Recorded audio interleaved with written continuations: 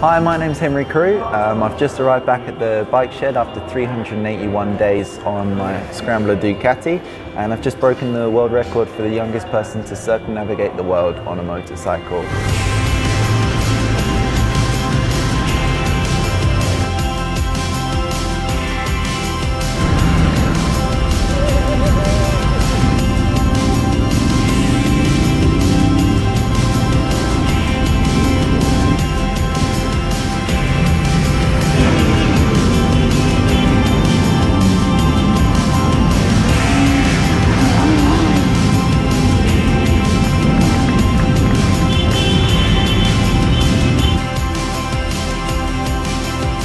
So without further ado, let's uh, let's just take a moment to congratulate this young man, Henry Crew, who at 23 years old has just record.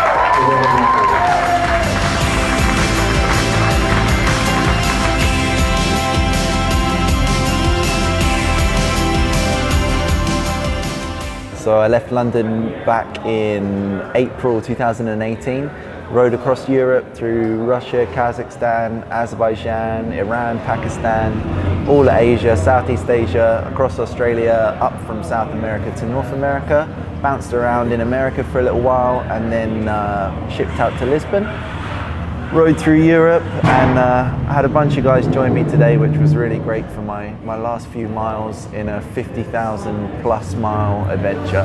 Some of the highlights so far, I've ridden the highest roads in the world in the Himalayas. Riding on beaches in Australia was really great. Um, just meeting all of the motorcycle community as well. I've stayed with a lot of people from Instagram and that's been a, a, a constant thing throughout the trip yeah, it's been an amazing trip. Feels weird to be back, but I'm excited about uh, what comes next. So I've been through about eight or nine sets of tyres on the trip. I've changed it up a little bit from road tyres at some points, fully off-road tyres at others. Um, but normally I've been using the Pirelli Scorpion Rally STRs, which are a really nice balance of sticky on-road, good in the wet, road tyre, but also handle gravel and dirt pretty well. It's only when you get up to deeper sand and mud that um, I've kind of wanted the non-STR version. Uh, but yeah, quite a lot of tyres. A lot of people ask me why I didn't do this on a big 1200 GS or something. Um, mainly it's just not really my style. I wanted to do, do it on something a bit different, um, but also something lighter.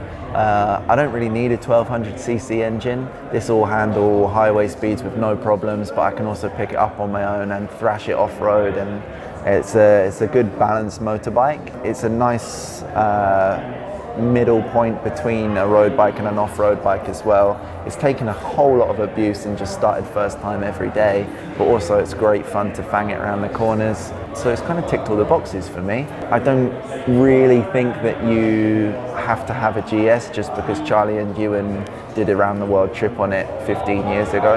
And when you put it into comparison, their trip was four months and I think about 17,000 miles. This bike's done 12 and a half months and I think the clock's on 84,000 kilometers at the moment. So about three or four times bigger than that GS did. And uh, yeah, it's still swinging. I think it's a weird one because people know Ducati and they know it as red sports bike. So when I rock up, they're like, "Oh, what's this?" And Ducati, what Ducati model is this? And uh, they're normally really intrigued and really excited by it. It's, it's not your typical Ducati, I guess, but it does get a lot of attention and a lot of attention from different um, markets as well. I think there's only one real point where I've thought maybe I don't want to do this anymore, um, and I, that was when I went to Chile from Australia. It was just such a contrast from the easy, fun time I was having in Australia, and then suddenly everything was difficult again. Um, and not having my bike for the first time was a big issue. As soon as I got back on the bike, I was fine, but that couple of weeks was really hard. Other than that, you're kind of forced. You don't have that luxury basically. You can't just jump on a plane and off back home. I can't. Can I swear? On it? Because you're in the middle of nowhere and you're probably a week's ride from the nearest big airport um, if there's even one in the country that you're in.